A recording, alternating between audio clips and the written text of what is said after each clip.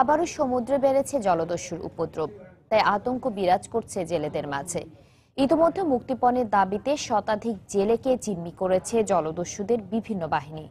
মাছ ধরার জন্য গভীর সমুদ্র আবারও অনিরাপদ হয়ে পড়েছে জেলেদের কাছে।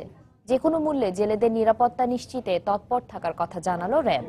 বিস্তারিত জানাচ্ছে এম এ আজম জলদস্যু, বরগুনা সহ উপকূলের জেলেদের কাছে আতঙ্কের নাম। তবে গত দুই বছরে কোনো অস্তিত্ব ছিল না। কিন্তু এবছর ইলিশ মৌসুম শুরুর সাথে সাথে আবারও শুরু হয়েছে জলদস্যুদের তাণ্ডব। জেলেদের জাল, মাছ ও ট্রলার লুট, মুক্তিপণের দাবিতে জেলেদের জিম্মি করে নির্যাতন শুরু করেছে তারা। অসহায় জেলেদের কাছ থেকে হাতিয়ে নিচ্ছে লাখ লাখ টাকা। তাই আবারও আতঙ্ক বিরাজ করছে উপকূলের জেলেদের মাঝে। দুই লাখ দাও, দেড় লাখ দাও। আর জলদস্যু তো ওরা তো ফুল তো ধরা খায় না। আমাদের একটা বোর্ড আটকে হেলাইলে মাঝিকে আটকে হেলাইলে অনেক টাকা দিতে হয় এই ভয়তে আমাদের সাগরে যাইতে সমস্যা হয়। দুই বছর ভালো হলাম এরপর এখন তো আবার ডাহাইতে জ্বালায়। আটকাই রেখে খুব মানুষজন মারিদের করে।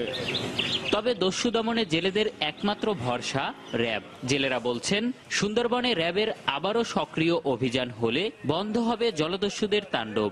র্যাব যদি ঠিক মতন টহল দেয় ঠিক মতন পাহারা দেয় তাহলে আশা করা যায় জলদস্যু যাইবে। কোস্টগার্ড যতদিন ছিল ততদিনে ডাকাত নির্মূল হয় না যখন র্যাব দেশে ওই থেকেই ডাকাতটা নির্মূল হয়েছে। প্রশাসন যে কোনো মুহূর্তে ইচ্ছে করলে জলদস্যু দমন করা নির্মূল করা যায়। অবশ্য র্যাব বলছে, সুন্দরবন বিরাট দুর্গম এলাকা হলেও যে কোনো মূল্যে জলদস্যুদের দমনে বদ্ধ পরিকর তারা। সুন্দরবন তো একটা ব্যাপক এলাকা।